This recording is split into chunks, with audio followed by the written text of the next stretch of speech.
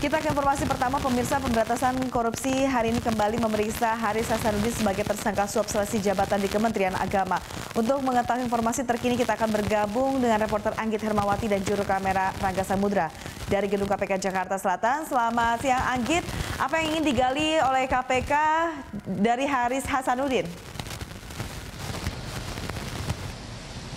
Iya, selamat siang Yasi dan juga pemirsa. Benar sekali bahwa penyidik KPK pada hari ini kembali memanggil tersangka Haris Hasanuddin yang merupakan mantan Kakanwil Kemenak Provinsi Jawa uh, Timur, di mana ia dipanggil terkait kasus dugaan suap jual beli jabatan di lingkungan Kementerian Agama. Dan berdasarkan pemantauan kami pada pagi hari ini, tadi Haris Hasanuddin tiba di gedung KPK sekitar pukul 9 pagi waktu Indonesia bagian Barat. Ia masuk gedung KPK menggunakan rompi orange dan datang seorang diri. Namun sayangnya kami uh, belum mendapatkan klarifikasi ataupun ataupun statement resmi dari pihak KPK terkait pemanggilan hari ini.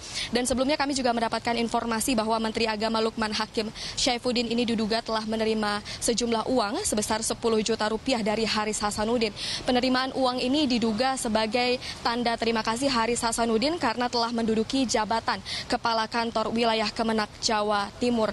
Dan untuk tersangka lainnya ya yang juga ditetapkan bersama-sama dengan mantan Ketua Umum P3 Roma Hurmuzi, yaitu Kepala Kantor Kemenak Gresik Muhammad Muafak Wirahadi. Kami masih melakukan pemantauan apakah ia juga bersama-sama dengan Haris Hasanuddin untuk hari ini dipanggil oleh pihak uh, penyidik KPK untuk uh, melakukan pemeriksaan terkait kasus ini.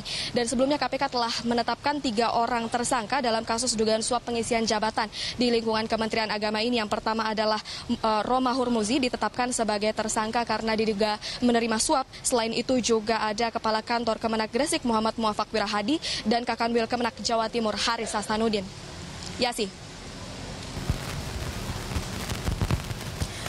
Ya, Anggit kemudian apakah ada rencana KPK memanggil saksi lain dalam kasus ini? Ya baik Yasi terkait pemeriksaan saksi lainnya ini kami mendapatkan informasi bahwa KPK masih membuka peluang untuk kembali memanggil Menteri Agama Lukman Hakim Saifuddin terkait kasus dugaan suap jual beli jabatan di lingkungan Kementerian Agama untuk tersangka mantan Ketua Umum P3 Roma Hurmuzi di mana sebelumnya Menteri Agama Lukman Hakim Saifuddin ini juga telah um, memenuhi pemanggilan penyidik KPK dua hari yang lalu atau pada tanggal 8 Mei 2019 dan pada pemanggilan tersebut informasinya penyidik KPK ini mencecar pertanyaan terkait penemuan uang sejumlah 180 juta rupiah dan juga pecahan sebesar 30 ribu US dollar di laci kantor milik uh, Menteri Agama tersebut. Dan KPK menemukan uang tersebut pada saat melakukan penggeledahan di kantor Kementerian Agama. Dan usai pemeriksaan tersebut informasinya sebuah fakta ini terungkap ke publik di mana Menteri Lukman Lukman Hakim Saifuddin mengaku bahwa ia menerima sejumlah uang sebesar 10 juta rupiah dari Kepala Kantor Wilayah Kementerian Agama Kakanwil Jawa Timur, Haris Hasanuddin. Dan belakangan diketahui uang tersebut diberikan Haris sebagai bentuk rasa terima kasihnya karena ia telah bisa menduduki jabatan sebagai Kakanwil Kemenak Jawa Timur.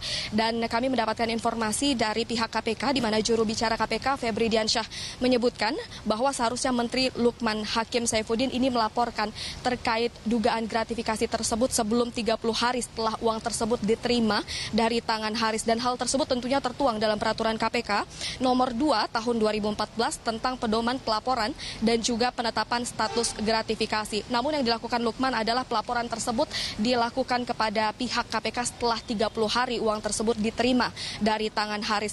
Dan Febri sendiri enggan uh, ber, melakukan uh, berspekulasi maksud kami terkait pelaporan gratifikasi 10 juta tersebut apakah akan diterima oleh Direktorat Gratifikasi KPK ataukah dilakukan penolakan.